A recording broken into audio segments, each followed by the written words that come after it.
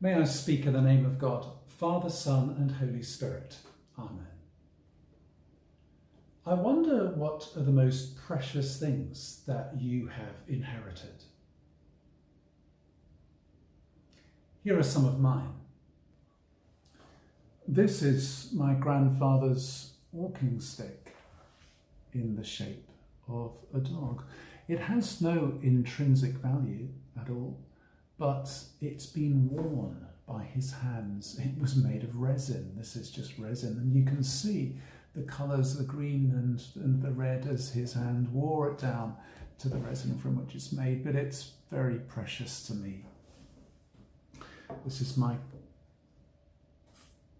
this is my father's Bible. Um, it was uh, given to him when he was nine years old in 1944 and um, he he kept it and used it all the way through when he joined up with in uh, boys service when he was in the army and then um, beyond that. It's my dad's bible. It was precious to him all his life. And then these are my um, uh, my mother's recipes. It's an old delia smith book and um, she's collected all these recipes in here, some of which she's written, but some of which she's just collected. But here, in this little book, um, she wrote out the recipes that she'd had from her grandmother when her grandmother taught her uh, how to how to cook all those years ago, and so that's very very precious to me. But I've also inherited left handedness and ability to be able to dream and imagine things into being that aren't yet.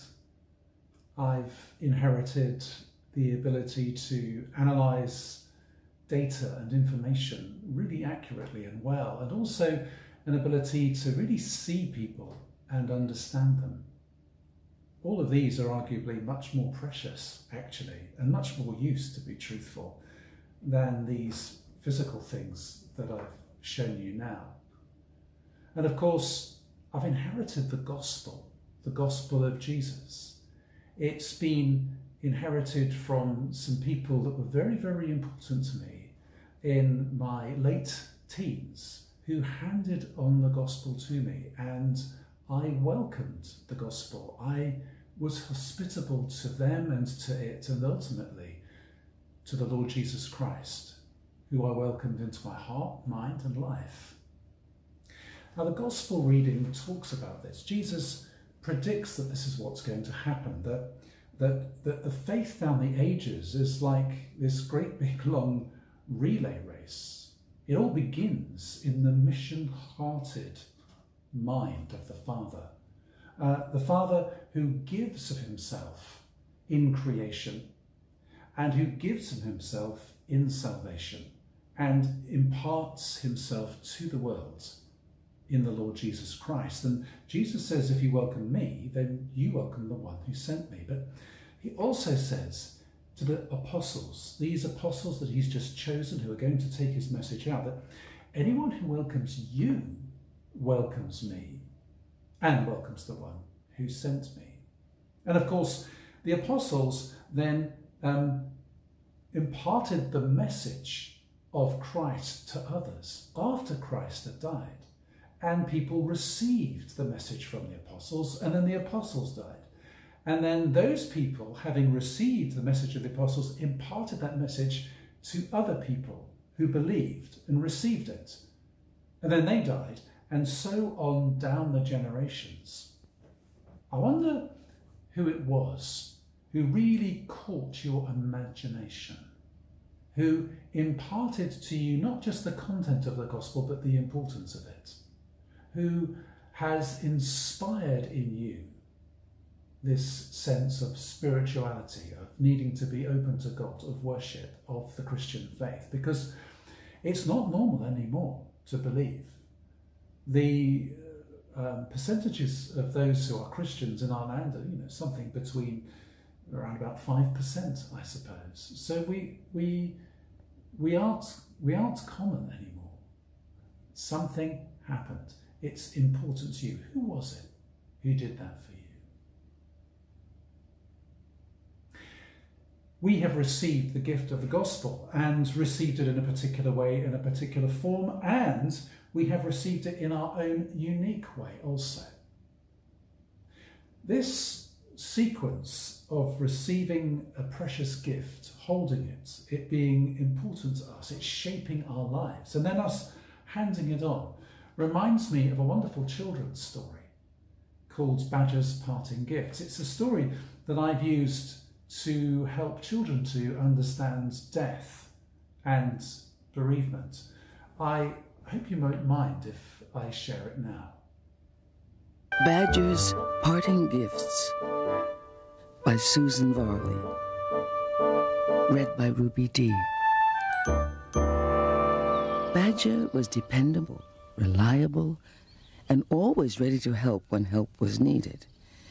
He was also very old and he knew almost everything. Badger was so old that he knew he must soon die. Badger wasn't afraid of death. Dying meant only that he would leave his body behind, and as his body didn't work as well as it had in days gone by, Badger wasn't too concerned about that. His only worry was how his friends would feel when he was gone. Hoping to prepare them Badger had told them that someday soon he would be going down the long tunnel, and he hoped they wouldn't be too sad when it happened. One day, as Badger was watching Mole and Frog race down the hillside, he felt especially old and tired. He wished more than anything that he could run with them, but he knew his old legs wouldn't let him. He watched Mole and Frog for a long time, enjoying the sight of his friends having a good time. It was late when he arrived home. He wished the moon good night and closed the curtains on the cold world outside. He made his way slowly down to the warm fire that was waiting for him deep underground. He had his supper and then sat down at his desk to write a letter. When he had finished, he gently rocked himself to and fro, and soon was fast asleep, having a strange yet wonderful dream, like none he'd ever had before. Much to Badger's surprise, he was running. Ahead of him was a very long tunnel. His legs felt strong and sure as he ran towards it. He no longer needed his walking stick, so he left it lying on the floor of the tunnel. Badger moved swiftly, running faster and faster through the long passageway until his paws no longer touched the earth. He felt himself turning end over end, tumbling and falling, but nothing hurt. He felt free. It was as if he had fallen out of his body.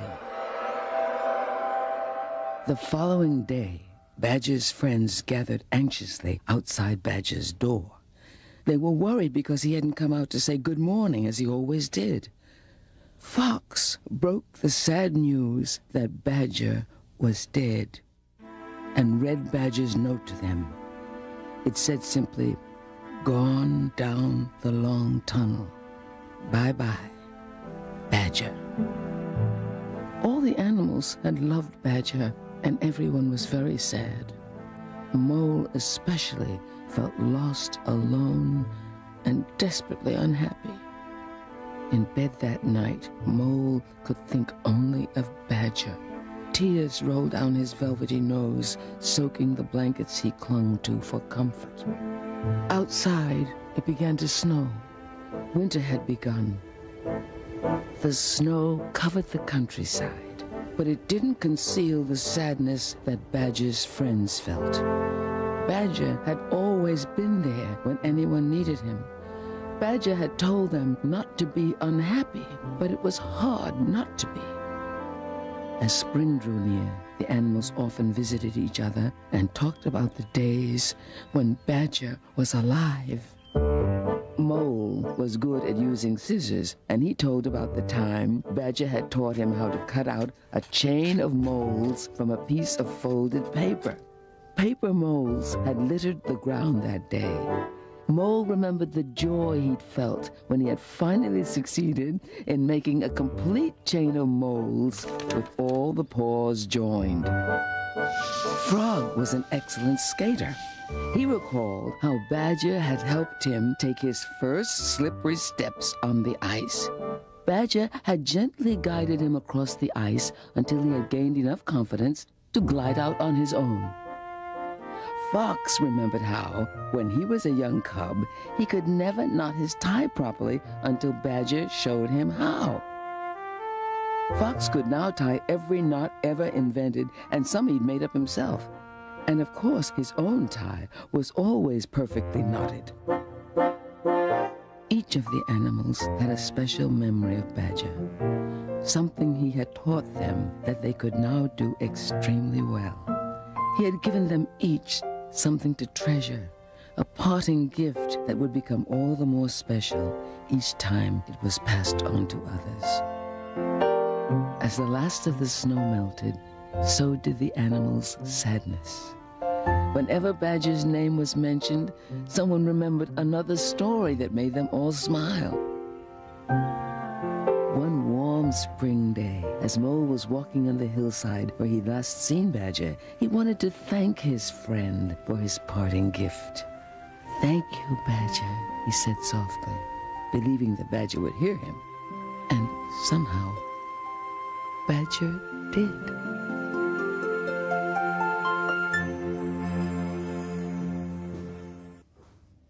So, having asked you, who was it who inspired you to follow the Christian way, inspired you in the walk of Christian faith? Let me ask you this what did you receive from those people? What particular insights and gift did you, did you receive? What was it that really caught your imagination? What was it that helped you really understand what faith is? One thing's for sure, whatever it was, whatever it was, whether it was scripture or music or actions or fellowship or architecture or a sense of spirituality, whether it was morality or ethics, uh, whether it was community, whatever it was, that which you received, you had to receive by being hospitable, as the Gospels show us. This Gospel passage for today comes at the end of a whole series of teaching from Jesus about mission. And, and, and the theme right the way through it is hospitality. That the apostles and those who are appointed after the apostles to work with them are meant to go and see where hospitality is offered them and the one who sent them. So they go two by two into villages, and if the village receives them, they stay there. And if the villager uh, rejects them, they shake the dust off their feet and go somewhere else. When they find a home that will receive them, they stay there. And if there is no home for them, then they go somewhere else. In other words, the gospel is offered, it's not imposed you have received the gospel, you received the spiritual gift from whoever it was who inspired you, who taught you, who drew you in, who showed you a different way. And there was hospitality in your heart and mind for what it was they had to give you. And that attitude of being open, welcoming, is what we're looking for. It's what God's looking for, and it's what we're looking for in these days. It's what I'm looking for as I pray and seek the building up of the church community at St Mary and St Eanswythe. It's what I'm looking for in the community um, in which our church community is situated, in the wider community. Who is it? Who are the people of peace upon upon whom, if I pray God's peace, the peace will rest, who are interested. I see a flicker in people's eyes. I see interest on their faces, or I see nothing but dullness or boredom. And it's the ones who open up to the possibilities of the gospel. They're the ones who are beginning to show a flicker of that hospitality that we're looking for. And I wonder, therefore, if I could ask you this having received the gifts that you've received from the people who inspired you to receive them, what is it that you have to give others in terms of the gospel? In what way could you inspire others? And who is it in your life and amongst the people that you know who shows an interest in what you have to offer? Who are the ones who are hospitable to the faith that you have to share in the way that you and only you can share it? I don't mean evangelism, that kind of that kind of imposing of your views on somebody else. I'm talking about when you are you in the faith that you have and express it in the way that you express it. Who's interested? Who are the ones who show a spark and who are interested? Can you spend time with them? Can you offer them the insights that you have? Who are those people that you can spend time with? And the kind of welcoming that there is is not always a becoming an apostle or, or becoming like the person that you've heard it from. Um, there are various different possibilities and scenarios in the gospel reading. Whoever welcomes a prophet in the name of a prophet will receive a prophet's reward. A prophet is a person not who foretells God's word, but forth tells God's word. A prophet is the one who proclaims God's word, explains it, and understand uh, and, and helps people understand what God's word means for life and living and the times that they're in. And whoever welcomes a righteous person in the name of a righteous person will receive the reward of the righteous. Again, these are people who, who show forth what it means to live in God's way, who show what it is to live in the, um, in the gratitude and the honesty and the loving kindness of the gospel, of the presence of Jesus, who show forth a peaceable life and what it is to live with God. And then and then whoever gives even a cup of cold water to one of these little ones, the name of a disciple, truly I tell you, none of these will lose their reward. These are people who, who show that, that intuition of kindness, who see a need and reach out to meet it in action.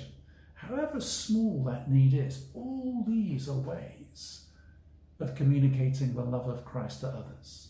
The content of the scriptures, what it is to live um, the rhythm of a spiritual life that can be so attractive.